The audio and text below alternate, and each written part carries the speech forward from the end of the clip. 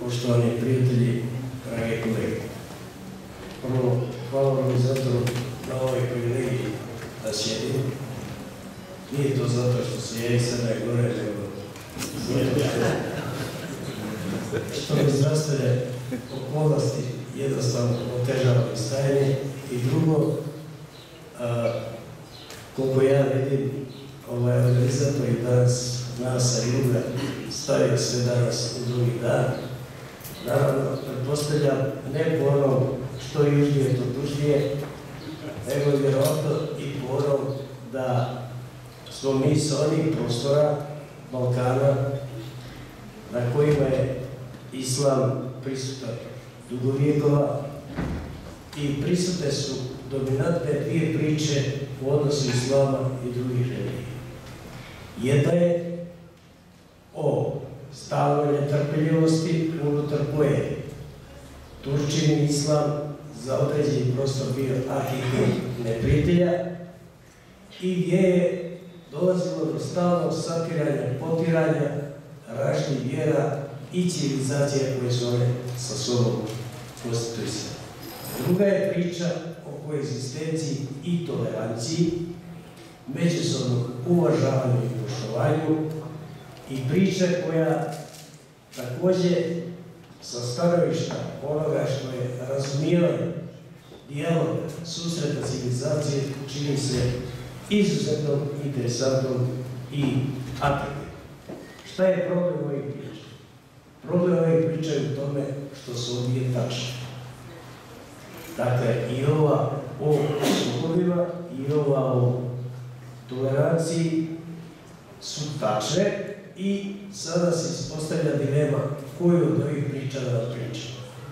Dakle, ja sam se odlučio da pričam o onoj priči za koju se opredelio optimisti.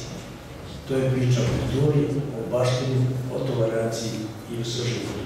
Ne zato da bi se dopao nekim modernim teoretičarima multikulture, ne zato da bi privaju simpatije oni koji moguće ove stvari čitaju razumijeti na drugi način, nego zato što je to zaista tako, a dijelić te baštine, te kulture koja je impresivna po dometima i vrijednostima i koja pripada u značajnu dijelu svjetske baštine, koja pokušava i da važe, ali kao tehnološki nepisanom čovjeku to očigledno neće moći bez pomoći prijatelja, ovaj, pripada i koja je stvorila takva dobra da ona u značajnom dijelu korespondira sa onim što je svjetska kulturna baština. Ale da sjedi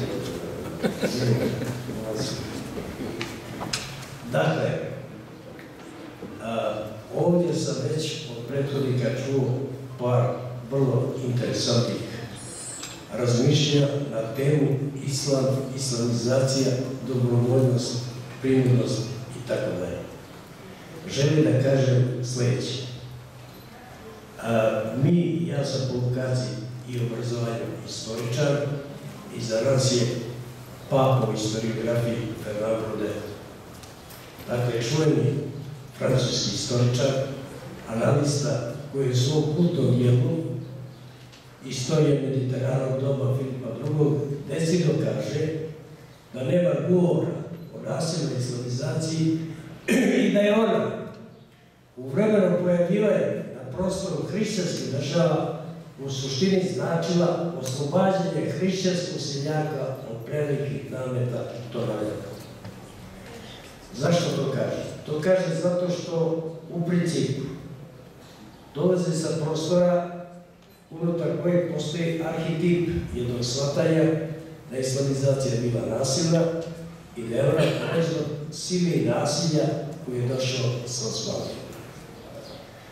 Naravno, u širem kulturološkom kontekstu i u onome što je iskaz i stav, temeljni stav islama i, i svetih knjiga, teško da bi se to stanovište mogu potvrditi, ne sporeći da je mogućnosti bilo da se unutar razne prakse ova pojava manifestuje na razne načine.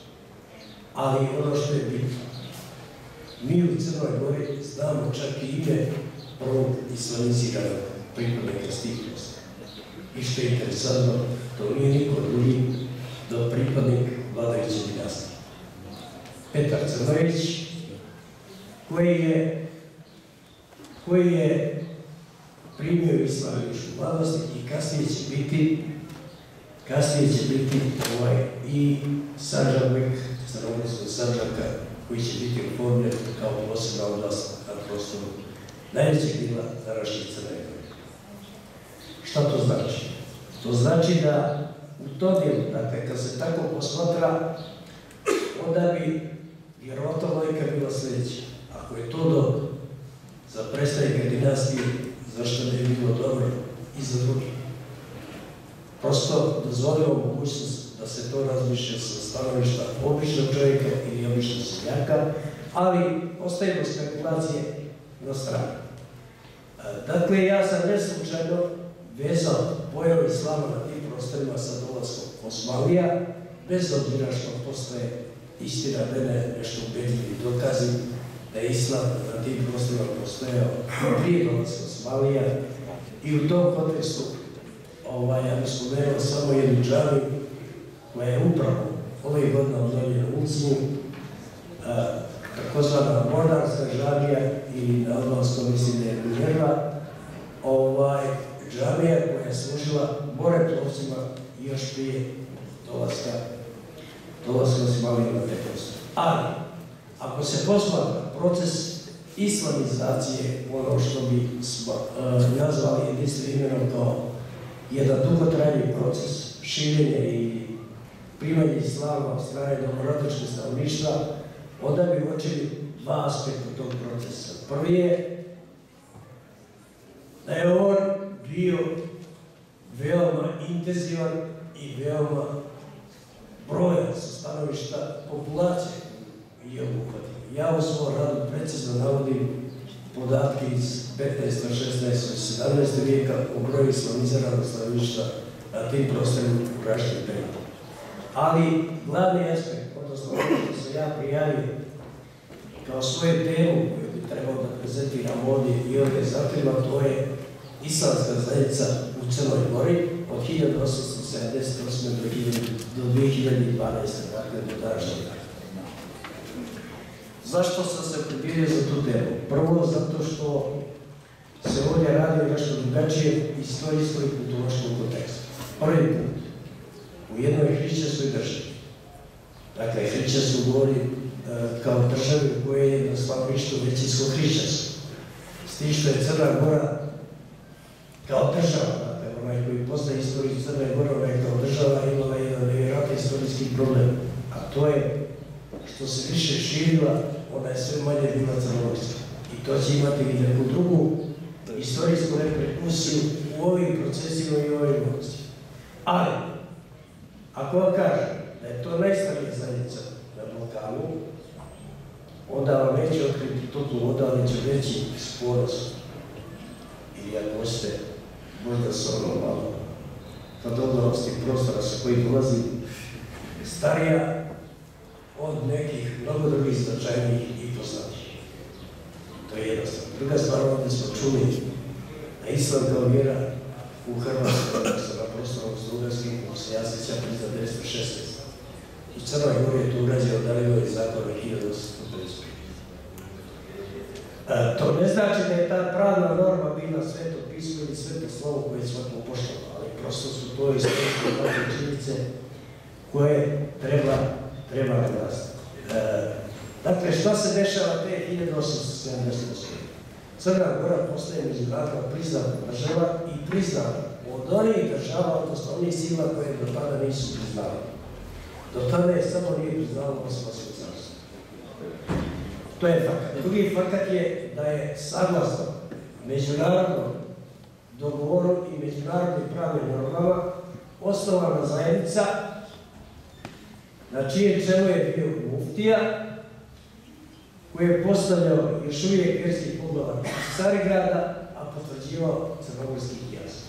I tako, pravilo i takva politika traje sve do 1912. kada se nešto promijeniti, ja ću kasnije pokušati pokazati šta. Dakle, prvi crnogorski muftija bio je izvjesni gospodin Suli, rodan iz Lucinja, koji je bio vrlo na mjesto crnogorskog muftije, jer je 1882. godine priliko jedne velike svojbe Lucija u Albaniju i selio se zajedno sa njim. A zašto se selio? To je također ključno i suštinsko pitanje razumijevanja društvenog, socijalnog i svakog drugog konteksta islamske zemlje. I jedno pitanje koje je vrlo, vrlo prisutno na tim prostorima jako dugo vremena izlazila određene tenzije i dileme unutar islamske zajednice i stavišta na tim prostorima. A to je da li treba djecu slati u školu. Dakle, jedno vrlo važno pitanje na kojem su se prelamali različite društveni, kulturološki i socijalni. Ulema u principu, dakle, ne sva, ali u principu, je bio protiv slanja djece u škole, obrazlažući takav stav činjenicom da je on prijetnja islamu i da je u stvari znači novu rehristianizaciju njihove djece. Takvo stavište islamske zajednice dovodilo do međusobne napetosti između države i zajednice koja se prepoznava sa jedne strane u zabrani djece da pohađaju škole, a sa druge strane nerijetko intervencija države da zatvori vjerske škole, posebno one najniže nivoje obrazovanja veka, kojih je bilo jako mnogo na različitih prostorima. Takvo stanovište ovaj, nije bilo dominantno među svom temom, od kojih je jedan kojeg ću spomenuti, ja mislim da imamo ovdje fotografiju, ovaj, muftija Murteze Karadžizović iz Bada, zagovarao stanovište da djeca treba da idu u školu, da je škola jedna vrsta prosvjetitestva koja muslimanima može da donese samo dobro. Sada ću biti malo ciničan i nešto reći kao provokaciju za razmišljanje. Dakle, kad vi pogledate danas ono što je pošćečko muslimanski korpus, kako ga ja zove, uglavnom dolazim u jednom znam. Da sva naša inteligencija je manje više iz vremena komunizma.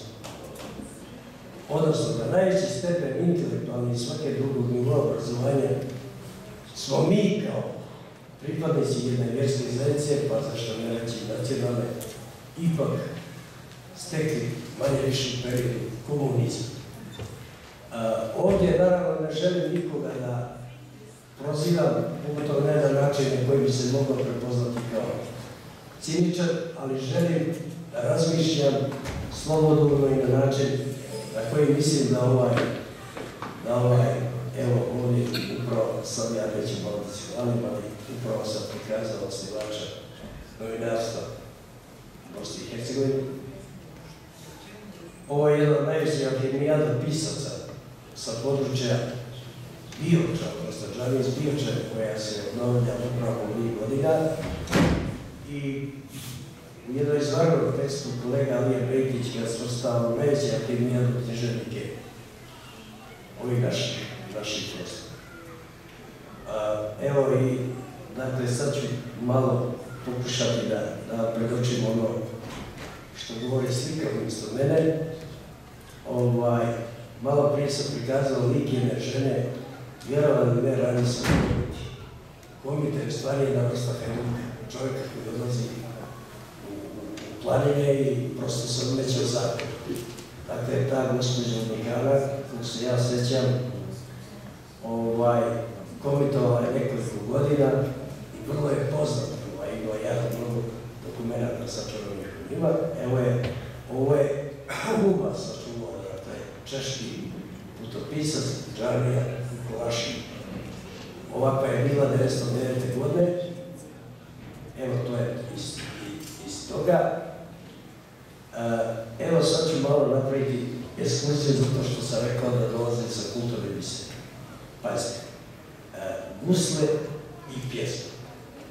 Iz Crna Gore je nešto što je međusobno vezano. Ali gusle kao instrument i epika kao kulturološka pojava ili pojava metalne arheologije manje više nešto što prisjeti kao dominantno obilježe svoj identitet. Ali najsljepski pjevač koji Balkan zna nije bio crnogorac Miloš, Aldo Mizović. Dakle, to je čovjek ostavšća danas čuva na univerzitetu Harvardu, čovjek na koje se najviše naši filologi, filozofi 20. vijeka, Milman Perry i Albert Hayes Lord koji je univerzitet, dokazali i pokazali i riješili čuveno komersko pitanje. Taj Aldo Međerović je, ovaj kasnije ćemo naći, bio običan mesar iz Kume Bijelog polja, Jakova, kako se zvao nekada, kojeg je sasvim slučajno Milan Peri našao u traganju za rešavanje komerskog pitanja i taj običan mesar, dakle, izdeklamuje gospodinu Peri ep koji se zove Ženitba Smajla iz Meke, koji ima 13.210 stihova. E, i Peri odavno kaže da je moguće da je Homer bio i Ulisa. Ovaj, tako da, u tom dijelu tih priča koje se prepliču kulturološki, istorijski, politikološki, kako god da ste, ima jako mnogo zanimljivih detalja, od kojih, nažalost, mi mnogi nismo znali, možda tek posljednjih 20 godina nešto otkrivamo. Gdje god zagrebemo, to je nešto novo, a ako malo dublje zagrebemo, nailazimo na nevjerojatno biselje i zlato koje ukazuje da ti tragovi orijentalno islamske kulture na tim prostorima zaista predstavljaju nešto što je prije svega civilizacijski ovaj, ostatak i civilizacijska maština i treba je prije svega.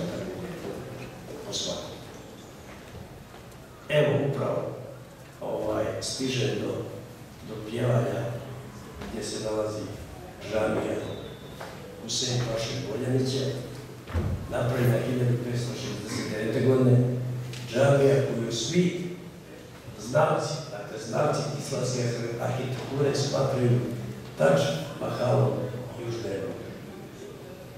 Ta džamija koja je napravljena 1569. godine ima munare koji je visoko koliko ja znam 42 metra i vjerovali ne, napis na dnu tog 12. stranu munareta je pročitan tek 2003. godine. To su pročitali kolege iz Sarajeva. Ja sam ne bih zapisao njihovo ime. Ovaj, tako da u tom kontekstu E, sada prelazi na modernije. A modernije doba otprilike počinje sa 20. vijekom i vijekom kada se sukobljaju na tim prostorima dvije veoma značajne i veoma ekstenzivne, odnosno jake ideje, to je vjerska i nacionalna. Kako će se taj sukob manifestovati stanovišta istorijske događaja? Pa tako recimo što ćete na tim prostorima imati iz perioda Balkanskih ratova pojavu masovnog pokrštavanja muslimana na prostoru Plava, Rusinja, Peći i Pećkog kraja je cifre, ako cifara mi Balkanci smo uvijek u deficitu ili ih pretjerujemo ili ih previše smanjujemo i ja prosto ih ne volim u smislu licitacije njima, ali neki izvori kažu da je to brojke između 12 i 15 hiljada ljudi. Tu se naravno postavlja pitanje da li je, da li je kao što se kod islamizacije, suštinsko pitanje treba postaviti. Ako je nasilna, da li je to projekat bio države, ima li dokumenta da je država imala takav projekat, ima li dokumenta da je to isprođeno, isto tako kod ove suštinsko pitanje da li je država stajala iza tog čina masovnog ukrštavanja i naravno koja je posebna priča za ovoga kako je Europa reagovala na pokrštavanje skoro 15.000 ljudi, a kako je reagovala na pokrštavanje jednog fratra koji je izrodio međunarodnu aferu koja se zove afera Pac. Dakle, ovdje ne želeći uopšte da pravim paralele, ali prosto je bitan taj, taj diskurs, ovaj, kako je, kako je sve. I evo, evo samo se zadržite, ovo je jedna džamija u Kazacima. Kazaci su jedna oblast na sjeverozapadu Crne Gore, skoro više tu nema muslimana, ali ovo bunare je ostalo do današnjeg dana. Snimljeno je, dakle, prije nepuno godinu, dvije godine, ali inače podignu ga je paša koji je porijekom ovaj, iz tih krajeva iz jednog bratstva koje se zove Patos. I pokušava doći na prostor kraljevine Srba, Hrvata i Slovenaca 1918. godine i jedinstvenog prostora. Vi znate, gospoda, da je tada su na tom prostoru postojale dvije vjerske zajednice, dvije islamske vjerske zajednice. Jedna je bio centar u Beogradu i pokrivala je područje Srbije i Crne Gore, Metohije i Makedonije. Tamo je stavila Beogradski muftije i drugo je Sarajevo. Ali kao svima je bio ministar vjera, koji je, kako ja znam, do 1929. godine bio tu Alan Pujs, a u tom ministarstvu vjera imali ste pravoslavno, katoličko i muslimansko vijeće. Kako se ja sjećam, sekretar ovog muslimanskog vijeća sa Ali, zašto ovo govorim? Zato što se nije društveni istorijski državni kontekst i u tom kontekstu ukida ovo crnogorsko muftistvo, Beogradski muftija dobija duhovnu ovaj, vlast na tim prostorima i u okviru toga funkcioniše sad stara, ajde uslovno rečem, stara islamska zajednica na prostoru Crne I to stanje traje do 1936. godine, ovaj, kada se stvara jedinstvena islamska zajednica na prostoru Jugoslavije. Ja vam neću govoriti kako je stvorena i zašto je stvorena, ali ću vam reći da je u tom procesu učestvovao, da su učestvovali braća Spaho, Ovaj, da od 1936. godine do 1992. godine islamska zajednica u Crnoj Gori je dio jedinstvene islamske zajednice koja pokriva prostor bivše Jugoslavijske države. E sad, ovdje bih, ako dozvolite jednu malu digresiju, koja je danas postavljena, dakle, pravi evropsko, svjetsko. Da duhovna ingerencija bilo koje zajednice uvijek bude saglasna sa državnim ingerencijama i kompetencijama zajednice koje egzistuje.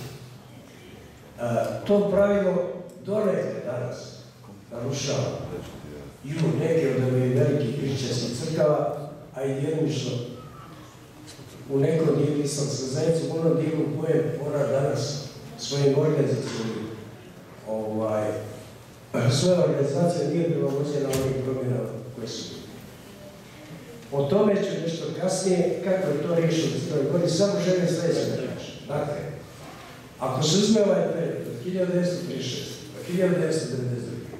najlojalniji savjeznik svih režima, dakle, to istraživanje pokazuje i komunisti i ovim predatnim i islamska zajednica.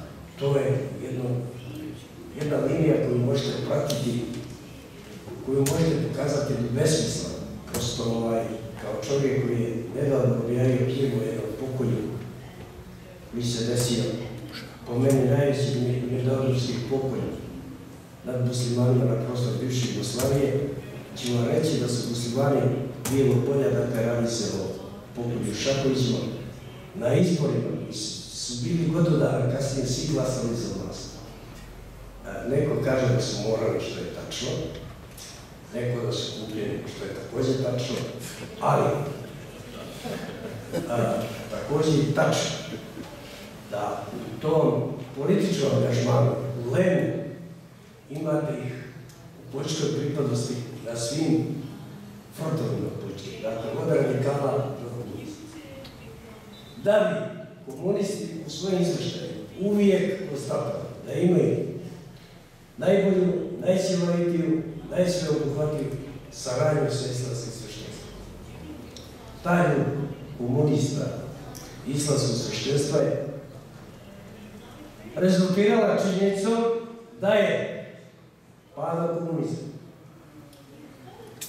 skoro bilo nestalo iz sveštenstva.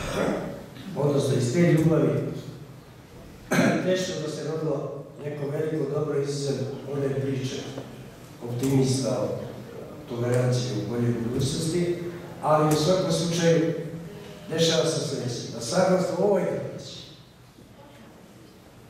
postojanje islamske zajednice od 1878. 1990.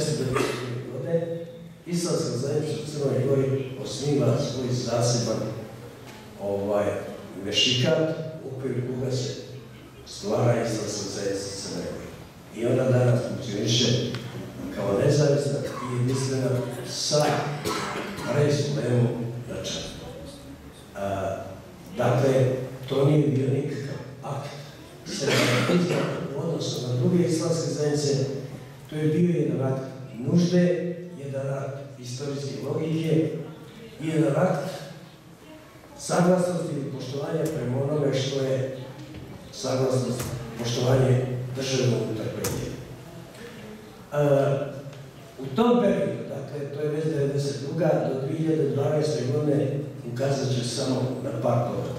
Jedan od najbitnije je to da je 2000 i neke godine, odnosno 90. neke godine, osnovana medresa u Podrovici. Dakle, kao vjerska obrazovna institucija uz podršku djelomično crnogorske vlade, ali boju najveći dijelo Turske, koja je ovaj, ukočala izvršila rade na te medresi, jer opet ja, ovaj, ja sam izvinjam se, ja sam profesor, ja stalno digresiju. Pazite šta imate karakterično također kod nas.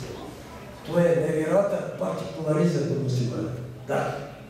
У Црвено немате село у кое живе бар пет фамилија да немате джамијата. Јас сам негде рекал да у одрасу на укупан број мирни потенцијали, Црна Гора има највеќи број жани и мисла во си. Дакле, данас их има, данас их има, да јас знам 159. A islamsko stanovništvo u Crnoj Gori ima maksimum 120.000. Ja, posto kao neki pragmatični čovjek, dijelim ovo 150, 120.000 na pa vidim da je to 800 pođavi potencijalni. Dakle, I onda to vidim. E, a zašto sam ovo ispričao? Zato što je naš svijet naučen koji je za svoje selo, da će sve da digne džamije. Ali ako je za, za interes svih zajedno, onda će biti jako teško stupiti bilo kakvu bolest. Dakle, ta vrsta partikularizma je nešto što bi po meni trebalo prevaziti i raditi da se prevazi iz razloga što se upravo desi. Dakle, pazite, tamo imate, uh, imate pojavu da je recimo između 92. i recimo 2012. neće pretjerati, ali napravljeno 50 novih čarnika. Ajde da vidimo malo matematičan, pa recimo da je u prosjeku svaka bila 300.000 eura. To je ipak neki 15-16 milijuna eura. Hoće da kažem, jedna medresa koja služe svima, da nije bilo Turaka, nije bilo šansi da je jednostavno završeno. To govori nešto što ne ide u prilog nama, nešto što je ovako moje zapažanje kao neko ko živi na tih prostorima. I završavam, ovaj, mi smo na univerzitetu kažu da baždarimo mnogo na sat i po, a ja ću pokušati da ispoštujem ovaj, prije svega privilegiju koju sam dobio od organizatora da sjedim i meni vam ugodno, a onda ću vas osloboditi potrebe da me slušate. E, jedno zaključno rečenicu. Prvi put se desilo u istoriji Crne Gore da Raisu Lema i predsjednik vlade potpišu ugovor. To se desilo u regiji. Taj ugovor nije nešto spektakularno, ima manje više ovaj, nekoliko opštih normi, nekome se on sviđa ili ne sviđa, zavisi kako posmatra, ali ipak akt poštovanja države prema jednoj vjerskoj. Zašto je to akt poštovanja države? Да Наравно, нормална државата би треба да биде норма. Али, Сада горе е една држава кој нема закон верски заедници.